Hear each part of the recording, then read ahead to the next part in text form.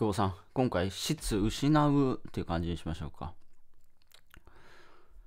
あの、歯医者行ってきたんですけど、またなんか、すごいお金かかりそうですね。30万とか、40万とか、50万とか、60万とか、100万とか。まあ、ど、どこまでやるのかによって全然変わってくるんですけど、まあ、保険適用外のやつやるとね、そんなかかっちゃうんですけど。いやー、僕ね、ほとんど、ああ銀歯なんですよね。ほとんど銀歯で全部詰め物してるんですよ。で、詰め物してるんで、その銀歯のその詰めてるところと、そのちょっと隙間が出てるところとかが、からなんか入ってなんか、いろいろレントゲン機の16、4枚、5枚取って、いっぱい取ったんですけど、検査すればするほど、ここはあれですね、みたいな。そう、またちょっと行ってくるんですけどね。まあ、失ってから気づきますよね。まあ、だから最近僕歯磨きね、すげえ頑張ってるんですけど、まあ手遅れですよね。手遅れというか、まあまあまあ、しょうがないですね、もう。失わ、失わ、失ってから気づくんだけども、失わず、失う前に気づきたいですね。でも人間って失わないと気づかない部分があるんで、僕はあの、ね、神経も僕10本ぐらいないんですよ。神経もほとんど抜いてるんで、まあいろいろ歯に関してはだいぶ失ってますね。で、歯に失った僕から助言というかね、お伝えできることがあるとするならば、まあ、ちゃんと歯磨きしといた方がいいよっていう。でもちゃんと歯磨きしといた方がいいよっていうのは多分小学校の時も歯磨きしなさいとかね、多分いろいろ言われてきたと思うんですよ。ほんとその通りだなと、歯磨きした方がいいなっていう もう小学校ぐらいからあの歯医者さん行って、まあ、ちっちゃい頃からね、あの歯医者ずっと行ってたんで、う。うん。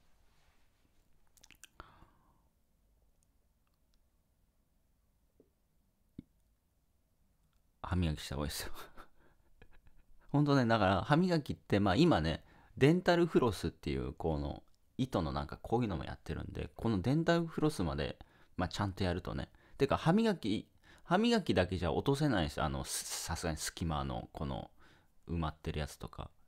そこに溜まるんですよね。あの、し、し、あの、思考っていうか、し、それ、そこから歯周病になるみたいな。だからその、歯医者の定期検診行くと、毎回そのデンタルフロスでこう糸でこういう風にやってこういう風にやるんですよってなんかレクチャーもらうんですけど、で、あの、あれがめんどくさいんですよ。で、ああそこまで歯磨きを入れると10分以上かかるんですよね。といってもまあ10分ぐらいなんですよまあ10分15分、うん、まあ20分かかる時もあるかな。まあ本当にこう、こうまめにやるとね。まあでも、それで歯がなくなるかなくならないかですからね。うん。そう。あれめんどくさいですよね。めんどくさいんだけど、日々やってることはめんどくさいし、あれなんだけど、大事な歯を失うか失わないか、お金を失うか失わないか。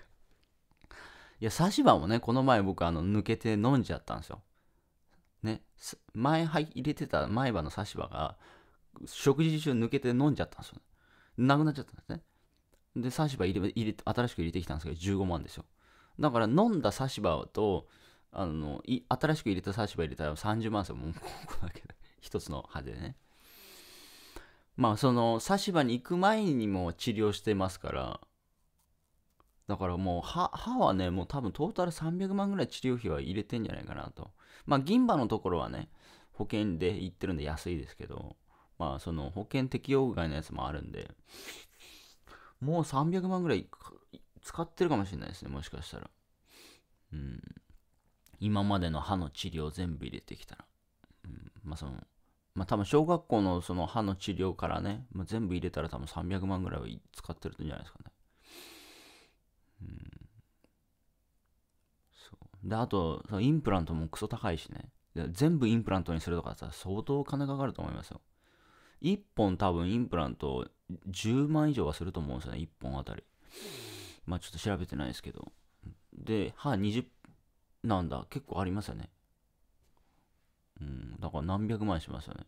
まあ、あとインプラントのもうバージョンがあって、いいインプラントもあれば その波、安いのもあれば、こういいやつもあるだろうしね。そう、差し歯もそうなんですよね。差し歯も安い差し歯もあれば、高い足場差し歯もあって、その素材によってね。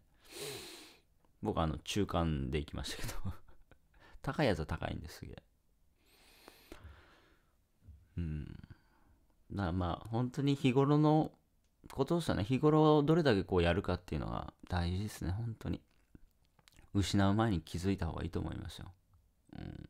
時間もどんどん失ってきますからね。僕はや、だからネットビジネスに関しては僕やっといてよかったなと思いますね。で、今もこ今もずっとこうやっとってね、よかったなと思うし、だからやらないといけないなと思いますし、まあ日々やりますね。うん。日々やる。それは変わらないですね。はい、まあでも歯はもうやばいですけど、ネットビジネスはもうやります。はい。いってらっしゃい。